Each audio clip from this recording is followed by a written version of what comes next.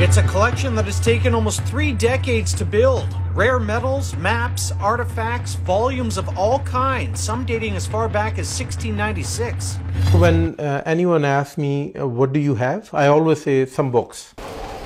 When they slide this door and they enter, they say, This is not what you told us. Uh, tunic buttons and uh, some figurines. Uh, Raj Bandal estimates he has over 2,000 items in his personal mini museum. They're from Calcutta, they're from Afghanistan. So they are like uh, living objects. Uh, there is a story behind them. Uh, every single item has a story.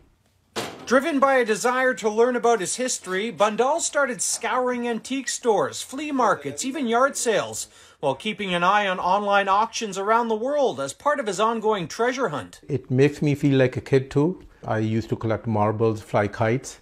Uh, so it's not the same thing, but uh, it's similar in a way. Uh, these medals, uh, they belong to Kamal Ram. It's taken up a lot of his free time. At home and with my friends, I'm driving them nuts.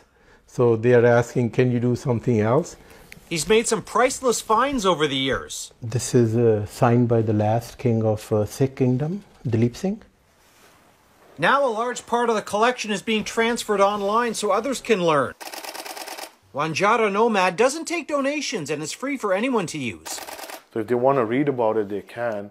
And that's what the readers like, oh, I didn't know. Uh, it's great that we, we're learning about it. So there are comments and there are questions coming in. We have a phone line.